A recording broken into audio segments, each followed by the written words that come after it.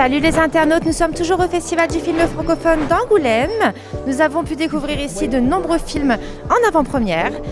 La sélection officielle est très pointue. Je vous laisse découvrir en images les rencontres exclusives que nous avons eues avec les équipes des films, acteurs, réalisateurs. Nous ont parlé, raconté leurs films, leur expérience vécue. Je vous laisse découvrir tout ça en images.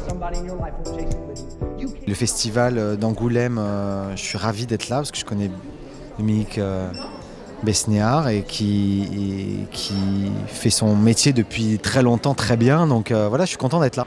Moi, mon rêve, ça serait de réparer les jouets cassés. Mon rêve, c'est d'être Miss France. Debout là-dedans Je vais faire Miss France. C'est garçon Bah, ouais, Bah garçon. voilà, c'est ça, oui.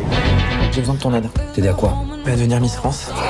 non, je suis très sérieux. D'accord. Ma rencontre avec Alexandre Vetter, le rôle principal, a fait que euh, je me suis dit, ok, c'est lui en fait, c'est sa vie, c'est la façon comment il a de d'accepter qui il est, d'assumer complètement, d'avoir le courage d'accepter sa féminité dans un corps d'homme. Mais il est, c'est un garçon, mais en même temps, il, vit super bien son féminin, son masculin. Je trouvais ça hyper moderne, hyper de notre époque.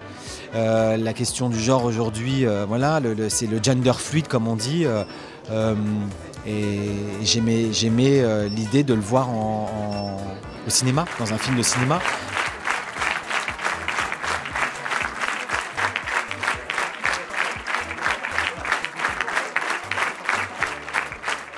L'accueil du public d'Angoulême était très, euh, chargé en émotions et donc euh, ça, ça déborde. Donc c'était très beau. Et j'en suis encore tout ému.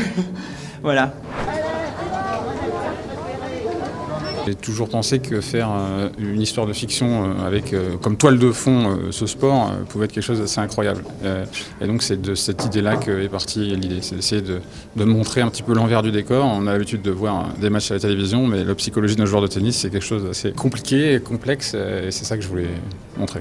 Tout ce qu'on y rencontre, je crois, sont des enjeux très très universels et très forts et sur la quête, sur, sur qu'est-ce qu'on cherche à continuer à se battre à chaque fois. Et toutes les symboliques dedans sont, sont vraiment super belles.